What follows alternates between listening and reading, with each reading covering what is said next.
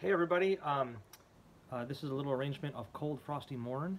Uh, I retuned our ukulele A, C, E, A, so the G is up to A, A, C, E, A. And I'll have the tab over uh, on our website, quietamericanmusic.com, for you to print out. Um, yeah, here we go.